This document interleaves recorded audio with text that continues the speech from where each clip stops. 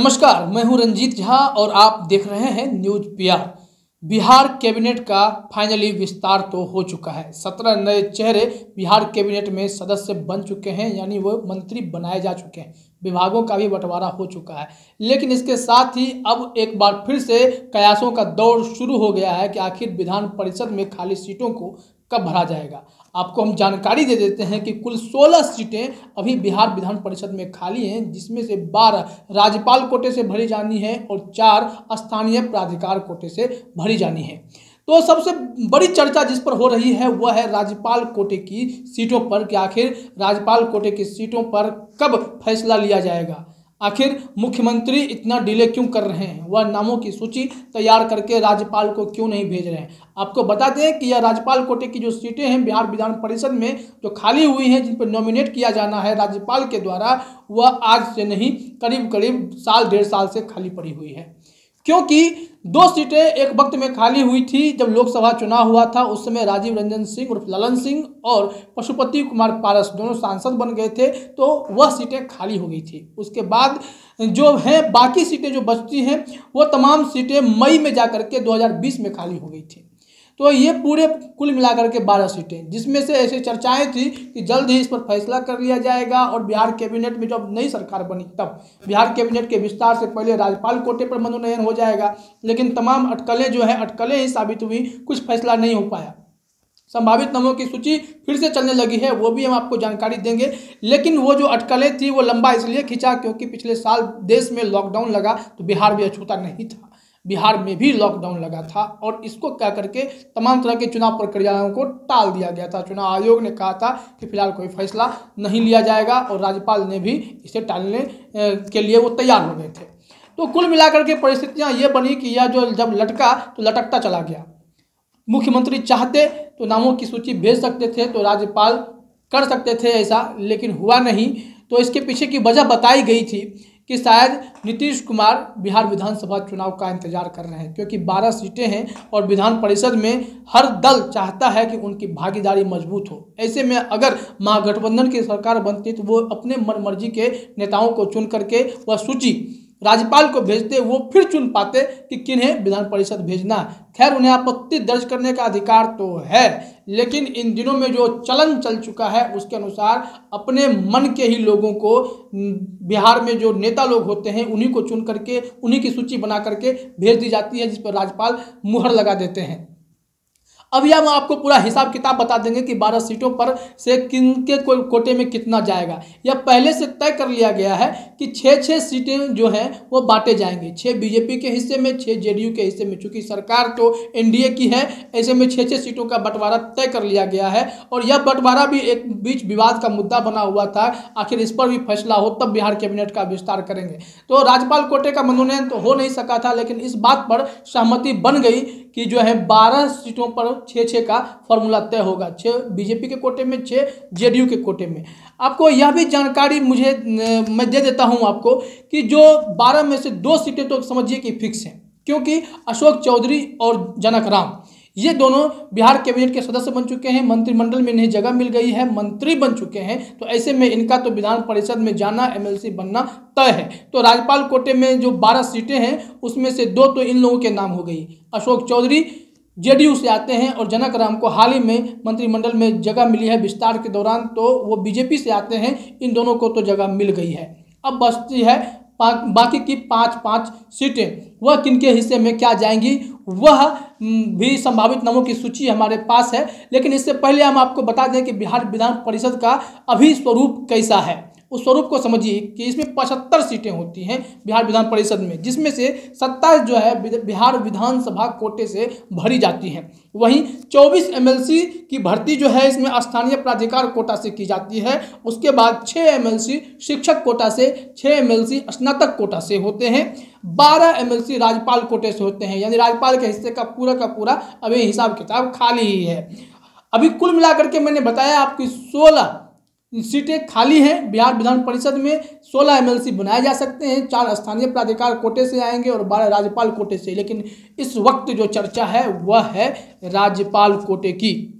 तो संभावित सूची की हम बात कर लें, आपको पता होगा कि सुशील कुमार मोदी और विनोद नारायण झा के राज, चले जाने पर दो सीटें खाली हुई थी, उस पर अब जो उसकी भर्ती की जा चुकी है, उसमें से एक मुकेश सहनी को मिला है और एक जो सीट है, वह है फिर जो गया हुआ है, बीजेपी के ही कोटे में गया है, शाहनवाज हुसैन के कोटे में। यानी शाहनवाज हुसैन, अभी बिहार कैबिनेट में वो भी मंत्री बने हैं, उद्योग मंत्रालय उन्हें मिला है, और मुकेश सैनी तो पहले ही सदस्य बने थे बिहार कैबिनेट में, मंत्री बन चुके थे, उन्हें एमएलसी बनना था। उन्होंने फिर नानुकुर किया भी था, अमित शाह के समझाने के बाद वो मान भी गए थे और मुकेश सहनी फिर वो तैयार हो गए एमएलसी बनने के लिए जो दो उपचुनाव की सीटें खाली हुई थी उस पर। यानी सुशील कुमार मोदी और विनोद नारायण झा। विनोद नारायण झा विधायक बने बन गए हैं और सुशील मोदी राज्यसभा भेज दिए गए हैं। तो ऐसे में ये दोनों सीटें खाली हुई थी। इस पर बारी बारी से यानी बीजेपी के ही और बीजेपी ने एकोमोडेट किया वीआईपी को दिया एक मुकेश सैनी एक शाहनवाज हुसैन को यह सीटें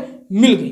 अब बात करते हैं। अभी जो मैंने हिसाब किताब बताया, बारह में, उसका भी मैंने दो का आपको बता दिया, एक अशोक चौधरी, एक जनक राम। अब बीजेपी से जो संभावित नाम है, उसकी जानकारी मैं दे रहा हूँ आपको। तो समझ लीजिए कि बीजेपी से जनक राम तो क्लियर हो गए। उसके बाद एक चर्चा है, प्रदेश महासचिव सुशील चौधरी की चर्चा है।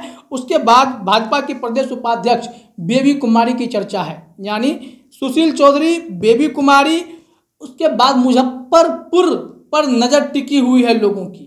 क्यों? क्योंकि मुजफ्फरपुर को कोई रिप्रेजेंटेशन नहीं मिला है। तो ऐसे में अटकलें तेज हैं। क्या बिहार विधान परिषद में जो ये सीटें भरी जाएँगी, उसमें मुजफ्फरपुर का रिप्रेजेंटेशन होगा कि नहीं? तो इसी वजह से बेबी कुमारी सुरेश शर्मा इनका नाम चल रहा है। सुरेश शर्मा पूर्व नगर विकास मंत्री रह चुके हैं। बिहार सरकार में सबसे अमीर भाजपा नेता माने जाते हैं बिहार के और उन्हें इस बार भारी अंतर से तो नहीं, बहुत कम अंतर से, बहुत कम अंतर से वो कांग्रेस के हाथों चुनाव हार चुके हैं। तो ऐसे में उम्मीद जताई जा रही है कि ऐसे मोटी पार्टी वाले नेता को बीजेपी अपने साथ रखेगी, इन्हें ज़्यादा देर तक बाहर बिठा के नहीं रखेगी। तो एमएलसी इनके बनने की सूचना मिल रही है। संभावित नामों में इनका भी नाम है। वैसे तो बहुत सारे नाम हैं। राजेश वर्मा का भी नाम है, अनिल शर्मा का नाम है। ये तमाम तरह के जो नाम चल रहे हैं, इनका फिर से मैं बता दूँ आपको। जनक राम, सुशील चौधरी, बेबी कुमारी, अनिल शर्मा, सुरेश शर्मा, राजेश वर्मा। इसके अलावा भी कई नाम हैं। देवेश कुमार का नाम है, प्रमोद चंद्रवंशी का नाम है, मुख्यालय प्रभारी सुरेश रुंगटा का नाम है, मधुबनी के पूर्व जिला अध्यक्ष घनश्याम ठाकुर का नाम है।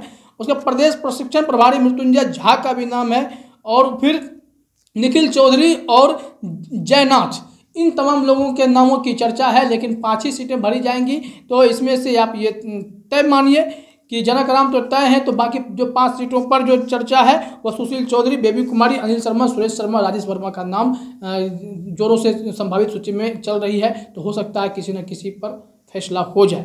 इसके अलावा अब बात करते हैं जदयू की। जदयू ने तो अपना एक सीट फिक्स कर रखा है अशोक चौधरी के लिए, क्योंकि अशोक चौधरी मंत्री बन चुके हैं, किसी भी सदन के वो सदस्य नहीं हैं। तो ऐसे में यह माना जा रहा है कि अशोक चौधरी को राज्यपाल कोटे से ही भेजा जाएगा। इसके अलावा जो नाम चल रहा है, वो है ललन सराफ का।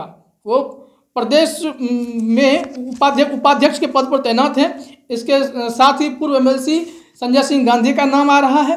फिर महेश्वर यादव का नाम आ रहा है। तो महेश्वर यादव का भी नाम इसलिए आ रहा है क्योंकि ये राजद छोड़ करके जदयू में शामिल हुए थे और राजद में रहते ही बगावती तेवर भी अपनाए थे। उन्होंने कहा था कि मैं नीतीश कुमार को अपना नेता मानता हूँ, लालू यादव या तेजस्वी यादव को नहीं। ऐसे में महेश्वर यादव को वहाँ से निकाला गया था, जदयू में शामिल हुए थे। तो इनको जो है नीतीश कुमार एमएलसी बना सकते हैं, ऐसी चर्चा चल रही है। तो कुल मिलाकर के नाम अशोक चौधरी इंक्लूड कीजिए। फिर ललन सराफ संजय सिंह गांधी, महेश्वर यादव हैं। और इसमें एक दो नाम और आएँगे।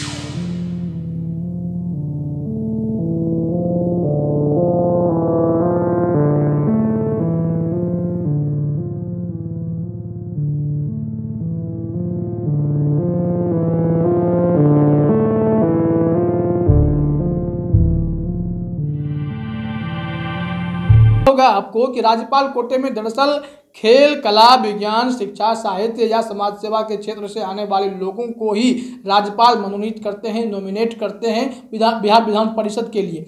लेकिन परिस्थितियाँ अब बदल गई हैं, ऐसा कुछ दिखता नहीं है। जो सूची मुख्यमंत्री अपने हिसाब से तय कर देते हैं, राज्यपाल शायद उन पर मुहर लगा लेते हैं। आपत्ति करने का अधिकार तो है, लेकिन ज़्यादा कुछ फ़र्क पड़ता नहीं है।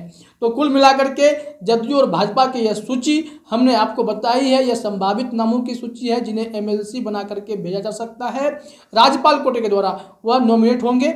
और इसके अलावा जो है, जो चार सीटें बचती हैं, उस पर अभी कोई स्पष्टीकरण नहीं है कि उस पर कब से, कब चुनाव हो सकते हैं। और क्योंकि ये सीटें भी भरी जानी ज़रूरी हैं, पचहत्तर सीटों का ये पूरा सदन है, ऊपरी सदन कहलाता है बिहार विधान परिषद तो ऐसे में यहाँ भी लोगों का होना और बुद्धिजीवियों का होना ज़रूरी है।